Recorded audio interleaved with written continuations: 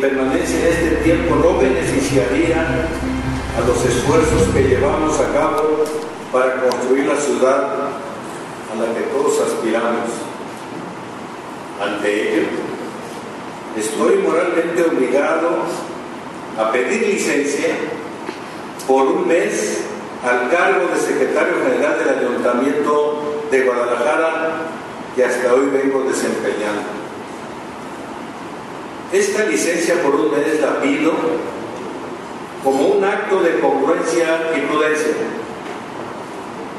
Pido esta licencia con profundo dolor, pero con gran convicción de que se aclaren los hechos.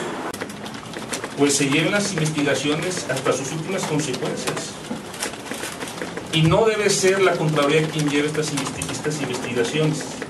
El Contralor el César Gustavo Galindo tiene que excusarse de llevar a cabo estas investigaciones, ya que tiene un impedimento, porque tiene un parentesco por afinidad con el secretario general, son compadres.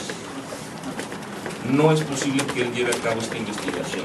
Resultamos el presidente municipal que designa quien lleve la investigación debe ser precisamente la Comisión de Transparencia, donde se encuentra conformada por las tres fracciones edilicias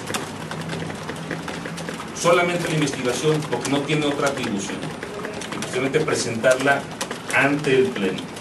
Que la licencia de estas que puedo estar renovando cada mes o cada dos meses es una manera muy elegante de eh, a una persona de estos niveles de tanto del ayuntamiento como del Partido Revolucionario Institucional, pues hacer que baje un poquito su responsabilidad.